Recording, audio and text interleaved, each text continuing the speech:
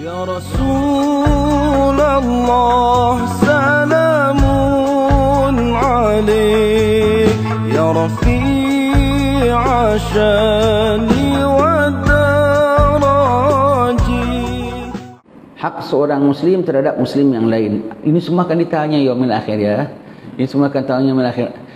Ada hak dia kita tunaikan apatah lagi kalau kita tak tunaikan bahkan kita nyusahkan dia.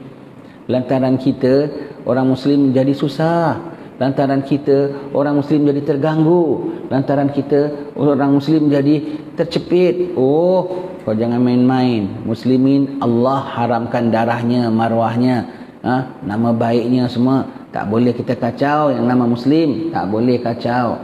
Kau jangan main-main. Yang nama Muslim tu nabinya Azizun alaihi ma'anitum harisun alaikum bil mu'mina ra'afur rahim.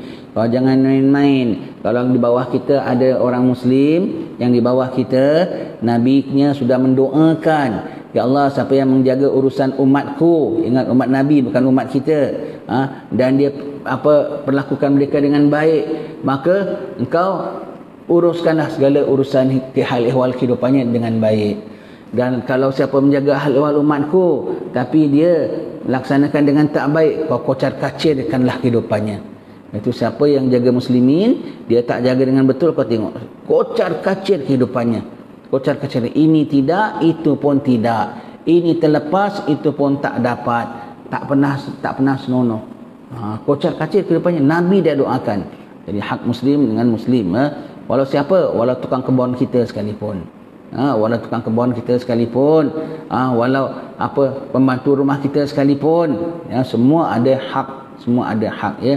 Orang muslimin yang di bawah kita, kita payahkan dia. Kita susahkan dia. Siapa saja yang nama di atas, kena tengok siapa saja di bawah. Ramai yang di bawah, ramailah tanggungjawab kau. Eh, takkan ramai gini. Pasal kau nak jadi di atas bagi yang ramai, kau kena jaga yang ramai. Kau tidak jangan jadi yang di atas. Jadi yang di bawah. Yang bawah kau ni semua 4 5 orang anak anak isteri kau saja. Ah sudahlah. Kau nak lebih, tanggungjawab lebih. Ya, baik ya. Ingat ya, kalau kita jaga orang muslimin 10 orang saja di bawah kita, kita dah getun sekali yaumil akhir. Getun. Getun apa getun? Menyesai kata orang Kedah, ha? ha.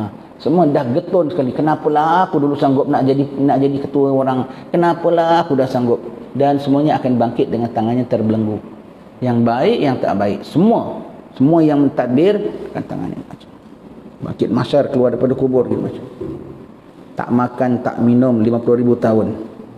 Panggil hisap menghadap Allah dengan tangan begini. Cek takbiranmu adil bagus lepas.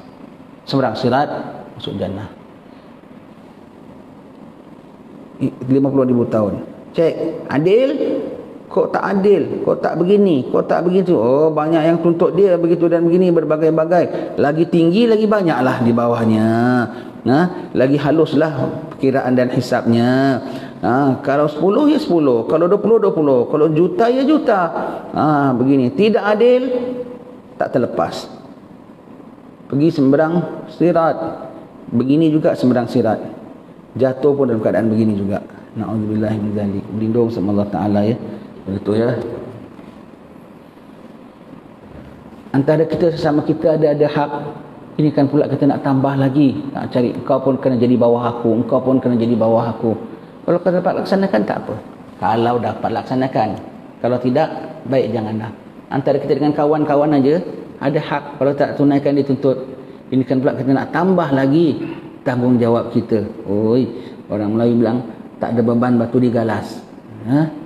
Tak ada ban batu digalas Salawat salam tetap padamu.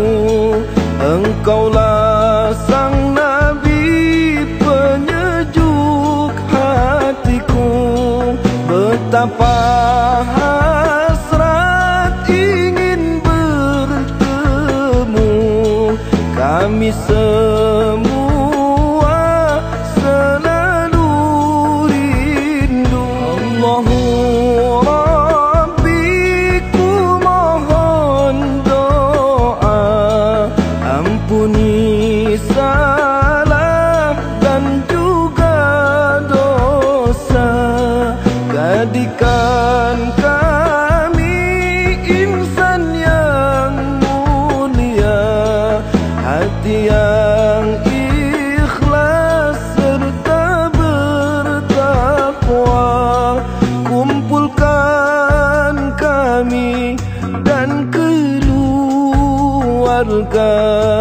bersama Nabi